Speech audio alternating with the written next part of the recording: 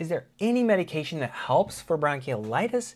What about epi and dexamethasone? Well, the CanBEST trial found that there was no improvement with epinephrine and dexamethasone. However, in PLOS One, there was a secondary reanalysis of the CanBEST trial, and they did a Bayesian reanalysis in which they found that there's up to a 98% chance that epinephrine and dexamethasone reduce hospitalization compared to placebo. And even under highly skeptical assumptions, there was greater than a 90% chance of a 10% reduction in hospitalization by using epinephrine and dexamethasone. Now, this is seriously controversial, and lots of people have big feelings about this. You will definitely want to check out Nick Zelt's amazing rant on the podcast about this. In my opinion, there's not a huge downside to administering an epinephrine nebulization treatment to a bronchiolitic patient.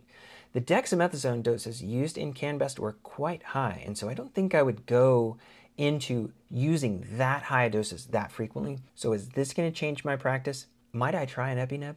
Yeah. You can learn more about this on JournalFeed. Just look down below. If you're on Instagram, just drop the word email anywhere into the comments and we will automatically send you a direct link so that you can sign up for our email list.